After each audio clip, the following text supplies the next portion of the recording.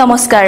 News express অসমৰ সমূহ দৰ্শকলৈ স্বাগতম জনাই দিনটোৰ খবৰৰ সৈতে ষ্টুডিঅ'ত মই চয়নিকা আহিছোঁ গুৰুত্বপূৰ্ণ খবৰলৈ। গুৰেশ্বৰ অঞ্চলক প্ৰতিনিধিত্ব কৰা এগৰাকী বিশাল ব্যক্তিত্বৰ অধিকাৰী প্ৰয়াত হৰিচৰণ ডেকা। গুৰেশ্বৰ অঞ্চলৰ প্ৰতিটো সামাজিক কামতে নিজকে সম্পৃক্ত কৰি সমাজক আগুৱাই নিবলৈ অহৰহ চেষ্টা চলাই থকা গুৰেশ্বৰ ৰংমহল হাঁহচৰা গাঁও নিবাসী হৰিচৰণ ডেকাই বিগত চৌব্বিছ ফেব্ৰুৱাৰীত সকলোকে কন্দুৱাই ইহলীলা সম্বৰণ কৰে।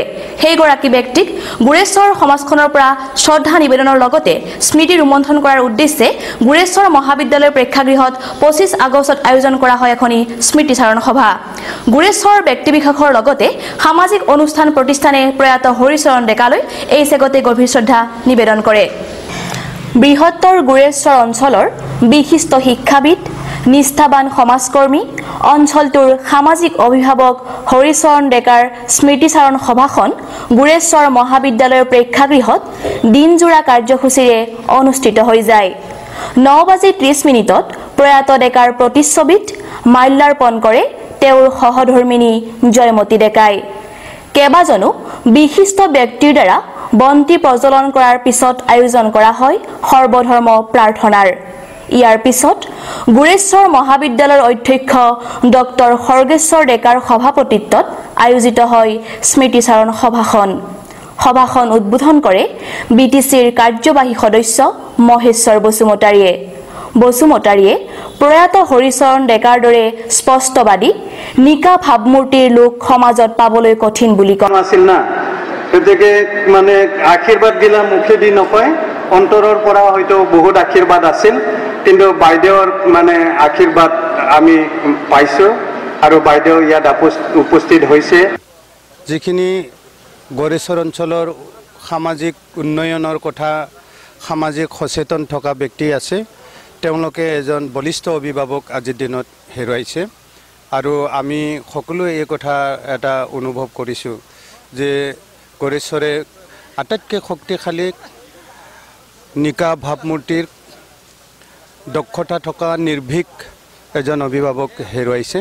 হয় সভাখনত নিৰ্দিষ্ট বক্তা হিচাপে উপস্থিত থাকে গুৱাহাটী উচ্চ ন্যায়ালয়ৰ জ্যেষ্ঠ অধিবক্তা হৰি ডেকা তেখেতৰ গুণানুকীৰ্তন কৰা জীয়াই থকা কালত তেখেতে কি কি মহান কাম কৰিলে সেই বিষয়ে পুনৰবাৰ স্মৰণ কৰা সমজুৱাভাৱে আৰু দ্বিতীয় উদ্দেশ্যটো হৈছে সেই মানুহজনে কৰি যোৱা যি কাৰ্য যি আদৰ্শ সেই আদৰ্শক আমি কেনেকৈ ধৰি ৰাখিব পাৰোঁ নাইবা অনুকৰণ কৰিব পাৰোঁ।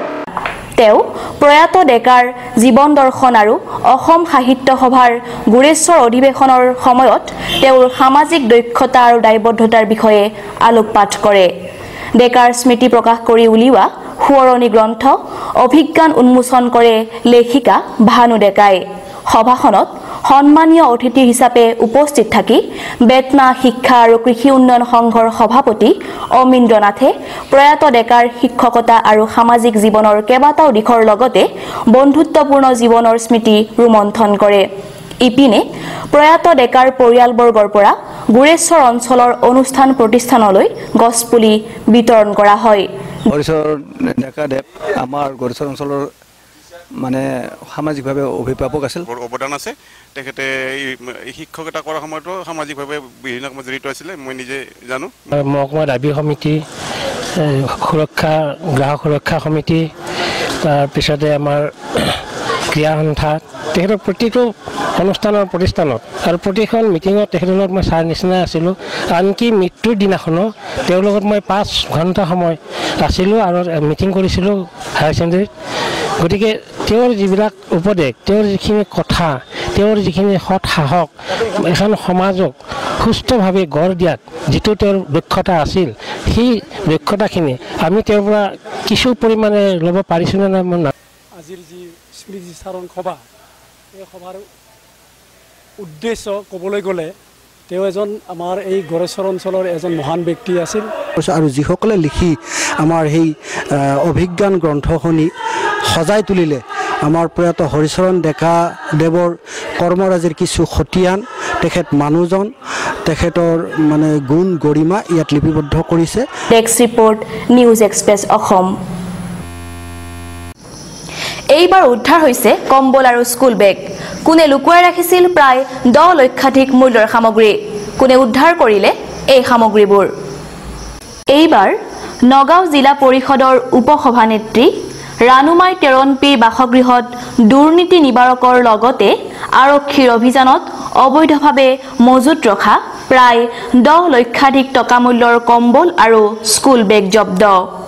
কামপুৰৰ পৰা পোন্ধৰ কিলোমিটাৰ দূৰৰ চাইবুক গাঁৱৰ এটা প্ৰকাণ্ড ৰাজমহলৰ ভিতৰত দমে দমে সূতা কম্বল আৰু স্কুল বেগৰ লগতে এগৰাকী জনপ্ৰতিনিধিৰ বাসগৃহত উদ্ধাৰ বৃহৎ পৰিমাণৰ সামগ্ৰী।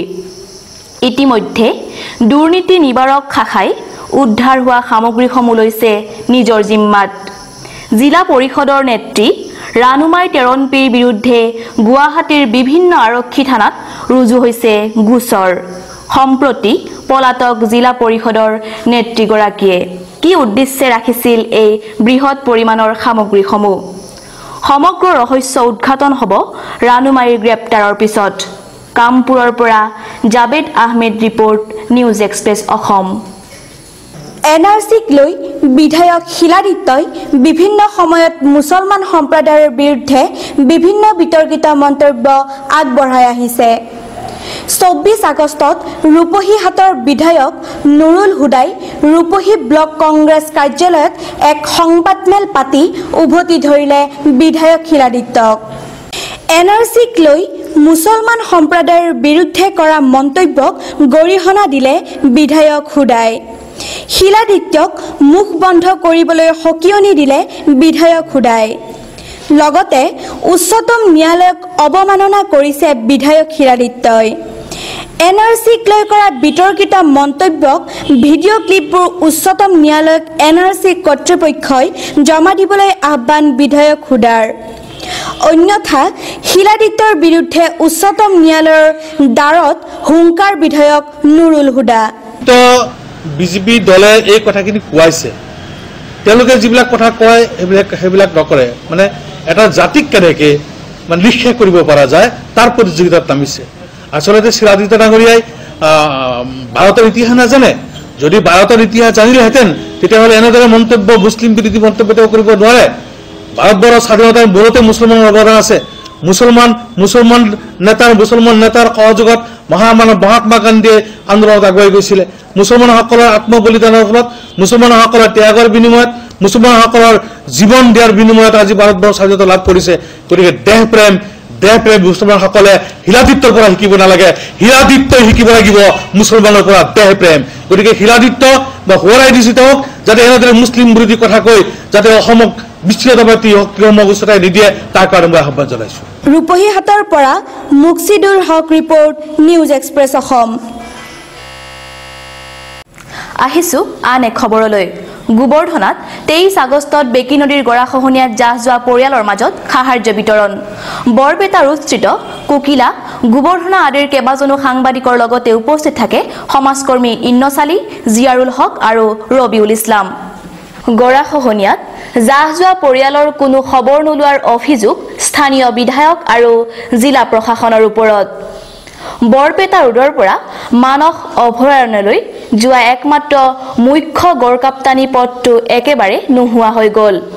আজিলৈকে কোনো পদক্ষেপ নললে বিভাগীয় কৰ্তৃপক্ষই। স্থানীয় সংগঠন আৰু ৰাইজে ধিক্কাৰ জনালে বিধায়ক ৰঞ্জিত কুমাৰ দাসক। বৰপেটা ৰোডৰ সাংবাদিক জাহিদুল ইছলাম তেখেতৰ চাৰিজনীয়া বন্ধুৰ লগতে অহা সাংবাদিক বন্ধুসকলে যিটো আমাৰ গৰাখহনীয়া ৰাইজক যিখিনি সাহাৰ্য আগবঢ়াইছে আমি তেওঁলোকক অশেষ ধন্যবাদ দিছোঁ। আমাৰ গৰাখহনীয়া তদাৰক কমিটিৰ পৰা অশেষ ধন্যবাদ। সৰভোগৰ পৰা Ramesh Talukdar report news express Assam.